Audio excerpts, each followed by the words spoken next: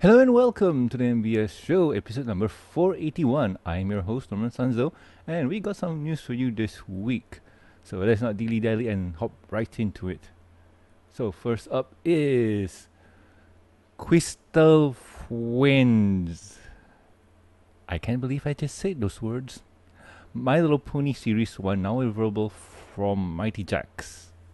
Mighty Jaxx announced this, guys, a few months ago and you can now order them over on the website. The full set is thir- sorry, $75 or you can get the sorry or you can get singles single boxes for $13 each. Get the details below and some extra images. So I'm just to tell you guys that uh, one box of six sorry one box for 13 is okay.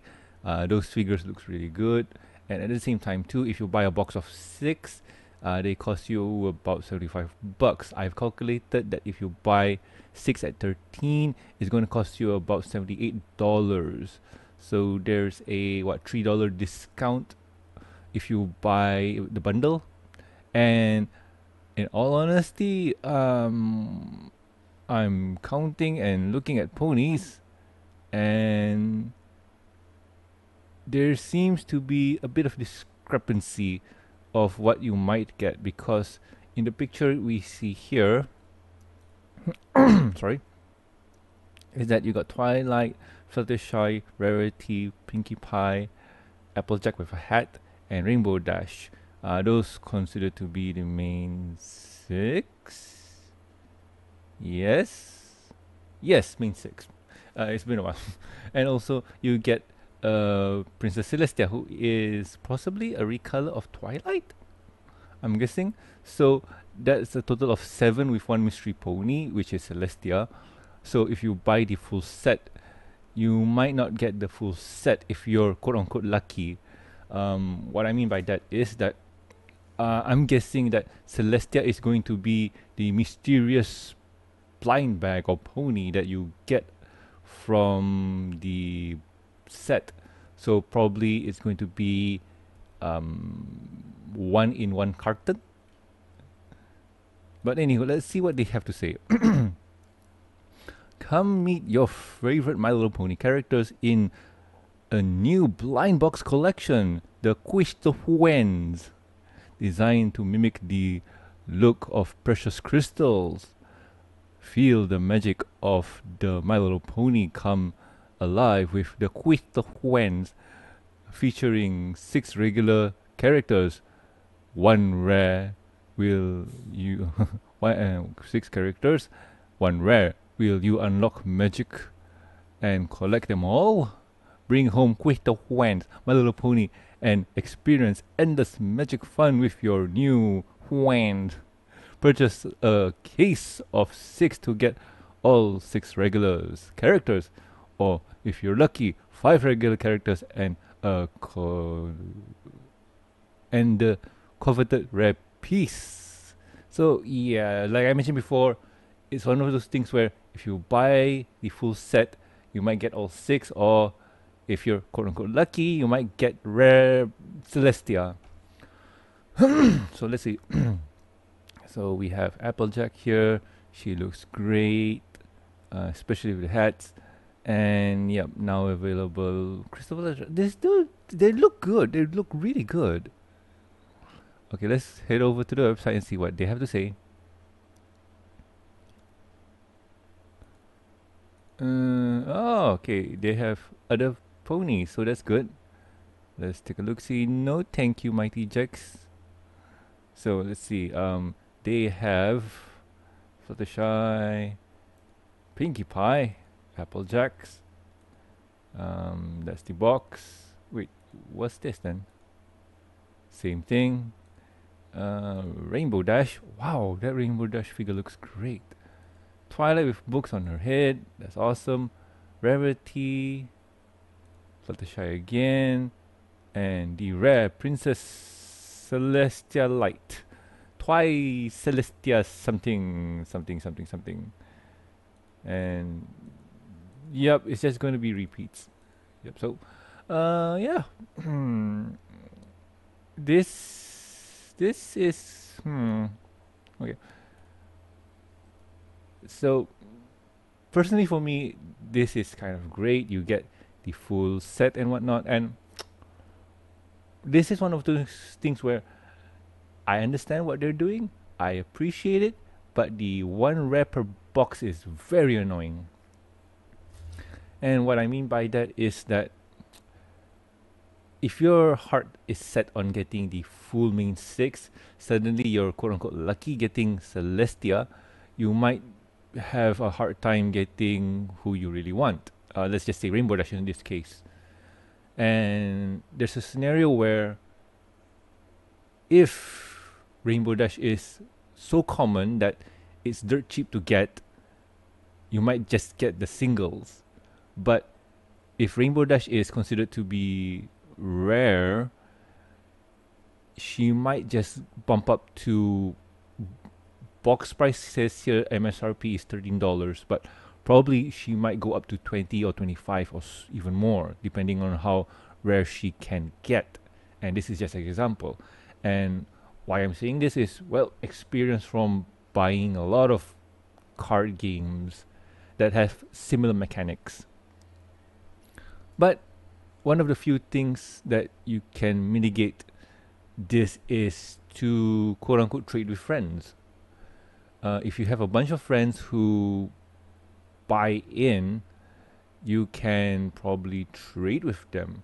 But the thing is, um, okay, let, let's let's put it this way: if you have a f- four friends, including yourself in this four group, who buys a case, so all of you get six individual boxes of ponies to get, and one of you might get lucky and get the Celestia pony. But at the same time, too, all of them want to keep their full set, and all of them want to uh, keep, or one of them want to keep the Celestia. So it's one of those things where I want the full set, but I want X pony.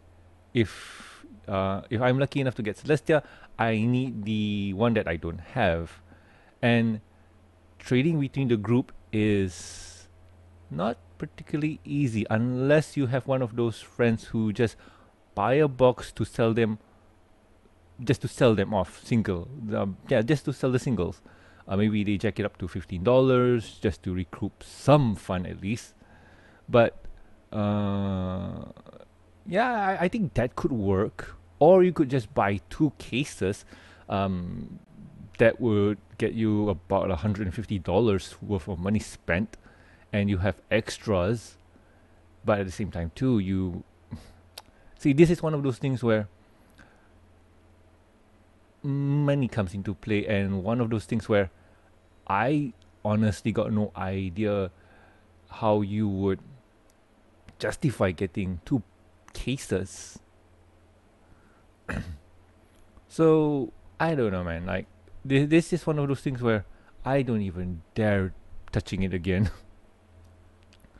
Um but i did remember there's one figure that came out from asia? China i think. Uh china or probably mm, japan. I, I think it was china because a friend bought it from taobao. But anywho um that figure was really nice. It was really awesome. And my friend he bought the full carton or box like all all of it. And he got all of it and that's kind of cool. I mean there's no buying in to get the one that you really need. You just buy the full set and you get everything. That way you don't really need to hunt down for what you really want. And i, I think i'm just repeating myself. And if you guys have been following me for a while now, you guys know my stance on this. I say that these are cool if you're if you just buy the blind box just to buy it for funds, that's great. If you're a collector, I suggest buying the full set of six for 75 bucks and if you don't get what you need, go and try uh, online sellers, eBay's, uh, Amazon's, and so on. Or maybe trade friends who buy it from a friend, probably, who is willing to sell and so on. So, yes, uh, let's move on to the next topic. Ah, yes. um, the reason for Pip's fluffy wings. Someone over on Instagram asked movie artist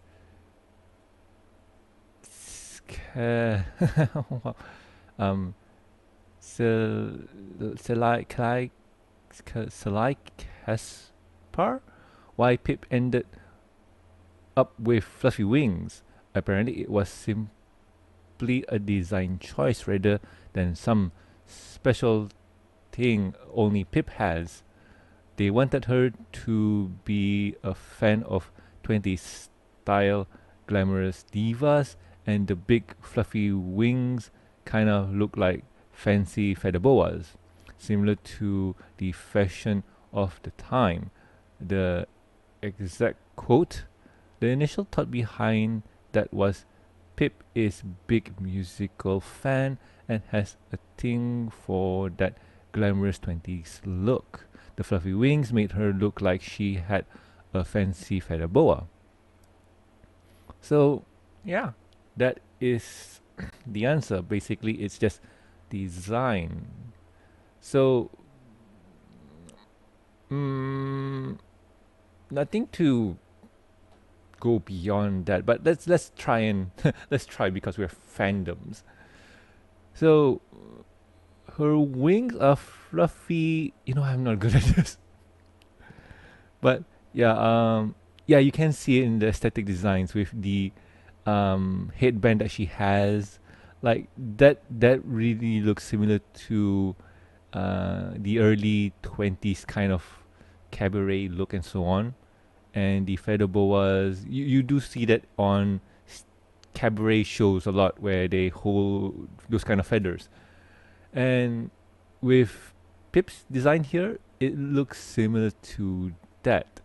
Um, how does she get her wings that way?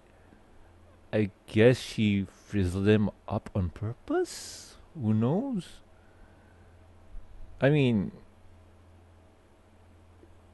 did the queen had similar looks? I forgot. But uh, I, I think she could fly with those wings in the movie. I think. Man, th- this is comes down to really looking in deep to the movies, and I believe there's someone that um, did a video on it, like trying to explain why her wings were like that, and um, is it possible for her to fly? Let, let's see what the chat has to say. Uh, like the idea, the native style was top notch. The five wings are well.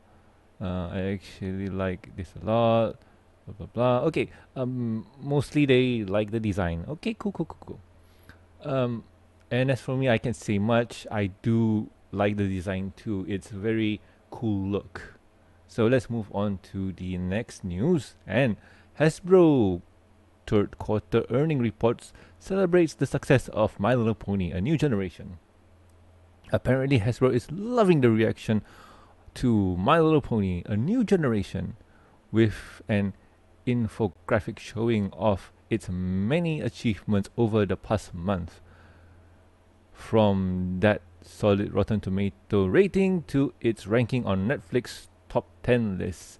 If you are a shareholder for the company. Their full report can be found over in the link. With all of the technicalities, technicalities, technical, blah, blah, blah.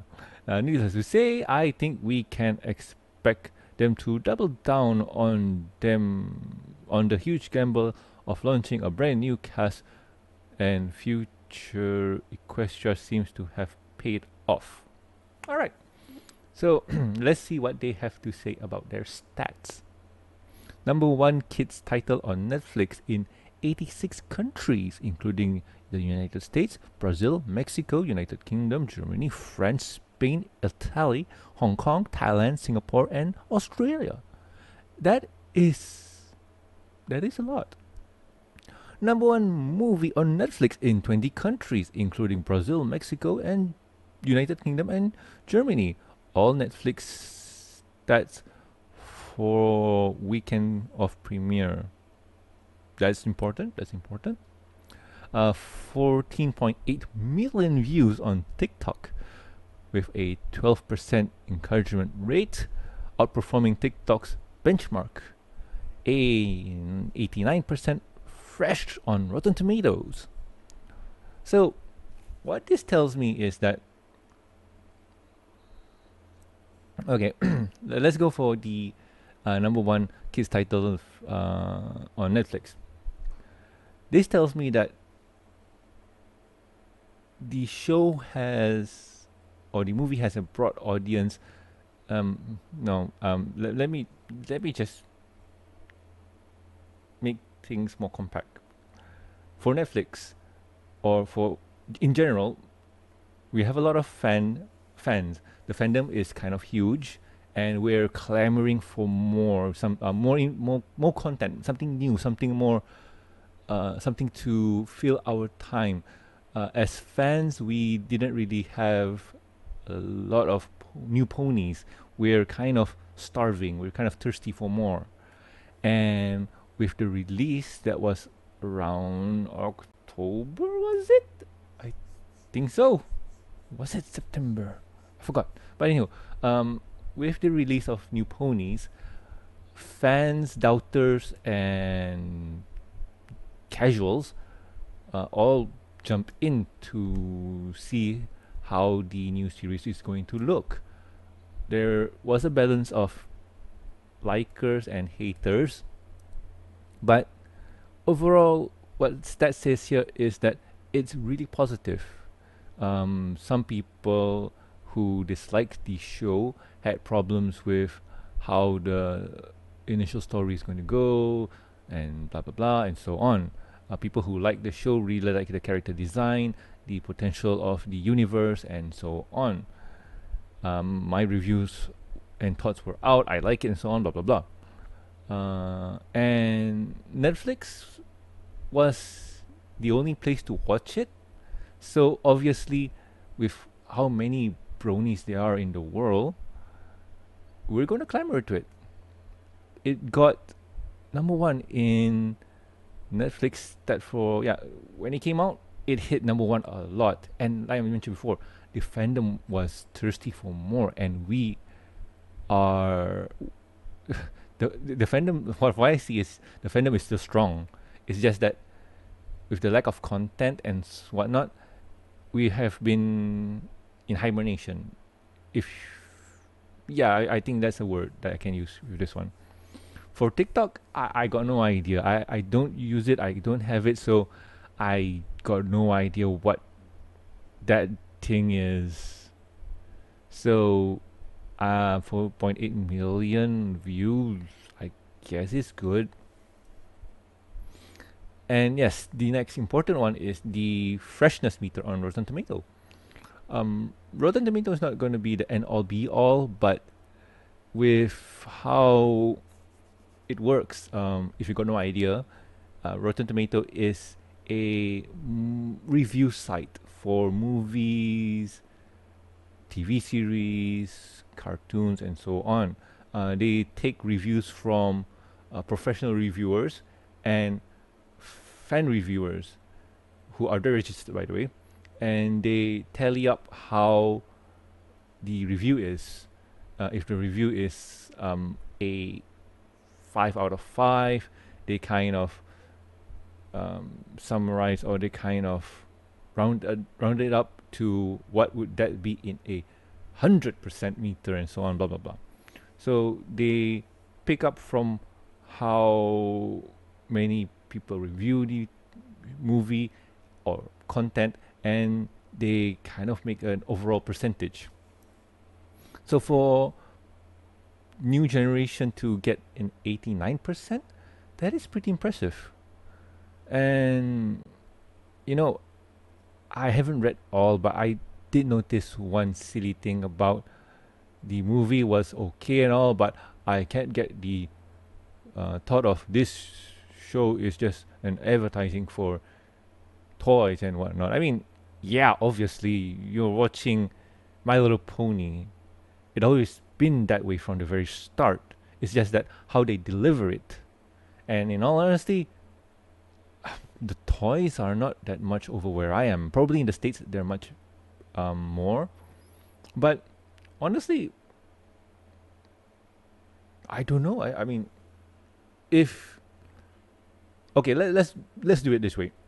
If I see a product, or if I'm a fan of, um, let's just say Dungeons and Dragons, since that's the thing I've been uh, digging, uh, and there's a anime show about it, and I see and I watch and I'm like, wow, I am really digging this.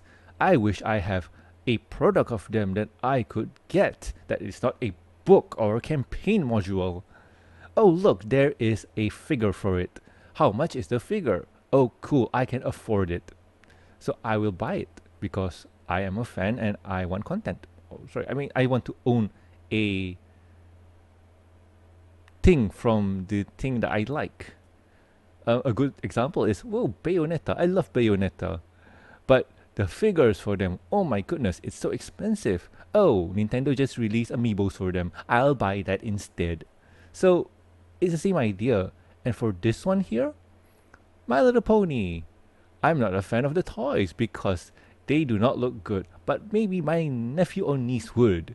Oh, do you want to buy it? So, yeah. In all honesty, eh, everything, people's trying to sell you everything. So, for me, getting back on track before I lose my mind is focus on the movie as its own entity. Whatever it is in trying to do with the selling of the toys, promoting the brand, and so on, that you can put it aside because go in with an open mind and uh, without any preconceived notions of thoughts. Go in blind. Go in. Try to go in blind and try to enjoy for the content for what it is. Ah, yes. wow. Um, that took me a while just to get back on track. okay, so let's go to the last one. And talking about doing things you like, new update for the My Little Pony game at the Change 6. So if you guys got no idea what this is, this is the Gameloft game. Um, yeah, the Gameloft My Little Pony game that came out way back when in the days that I've stopped playing. So let's read what they have to say. A new update is rolling out for the My Little Pony game on Android and iOS that introduced the main six 6S changelings. The event is on for a limited time and includes the usual collectible ponies and objects you've come to expect out of the app.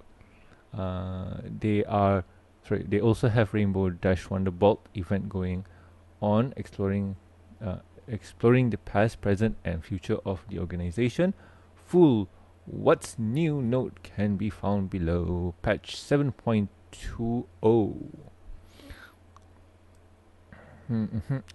so anyway, uh, let's see. Every pony, we have two new adventures ahead. Everyone, right, enjoy them while helping your favorite characters. Meet the Change Six. Are Twilight Sparkle and her friends actually changelings? A bunch of changeling kids sure seems to think so. Find out what's going on in the new limited time event. And the second is Meet your heroes. What will Rainbow Dash's legacy be? Wonderbolt past, present, and future. Help her figure it out in a new limited time event. I got no idea what those are. And I'm guessing this is the Gameloft game. Yes, there's the tag there. And yes.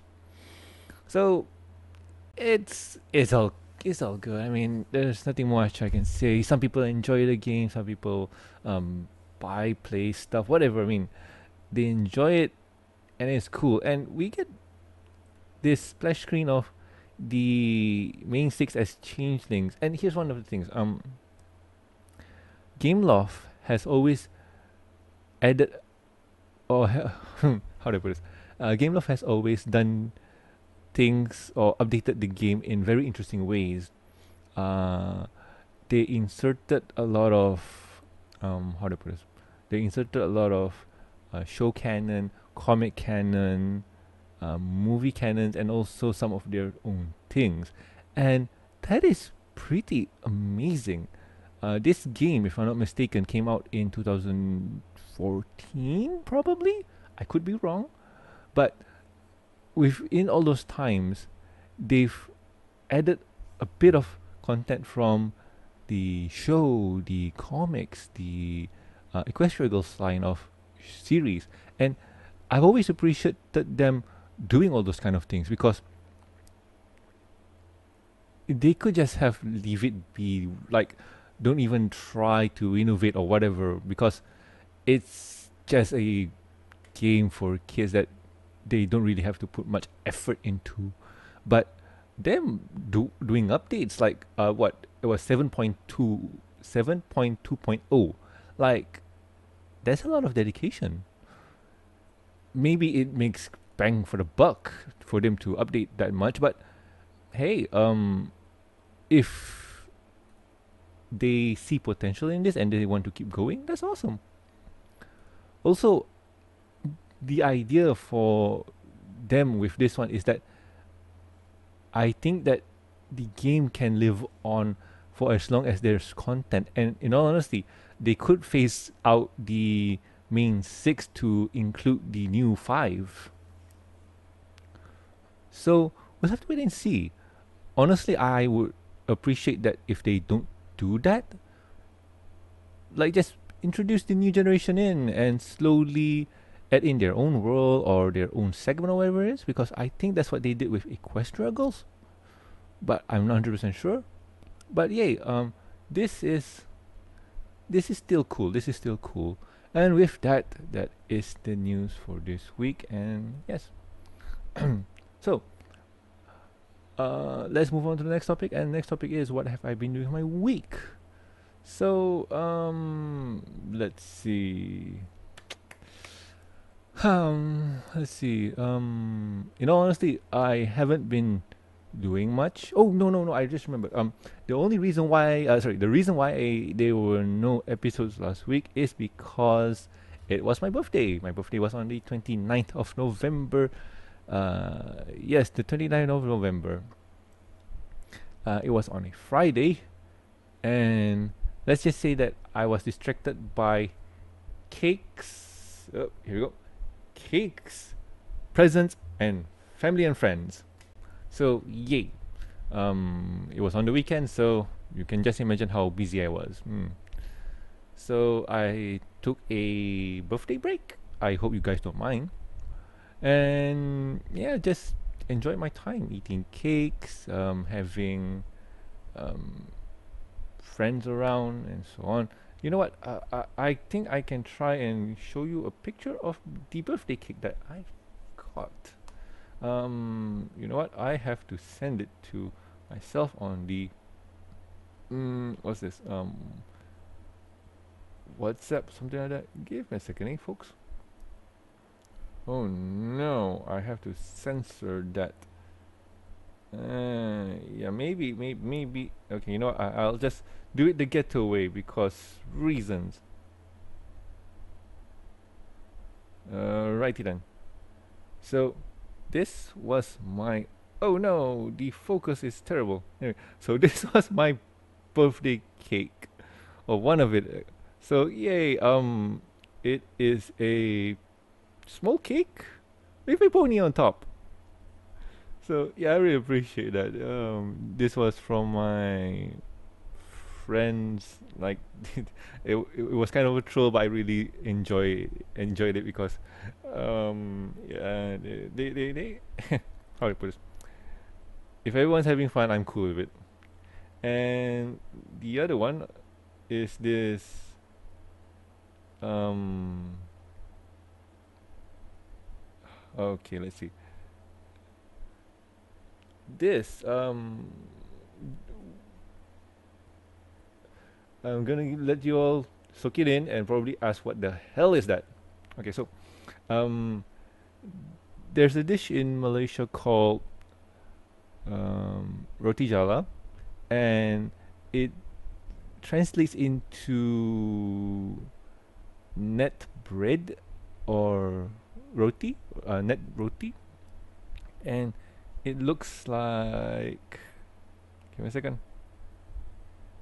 Something like this. So, um, just imagine pancake batter in a strainer that ooze out uh, individual sorry that has um, a strainer that has individual holes where when it pours out it becomes like spaghetti?